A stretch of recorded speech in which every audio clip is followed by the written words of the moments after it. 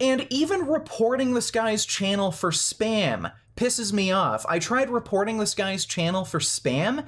I wish there was some sort of option to just literally click every single video on his channel.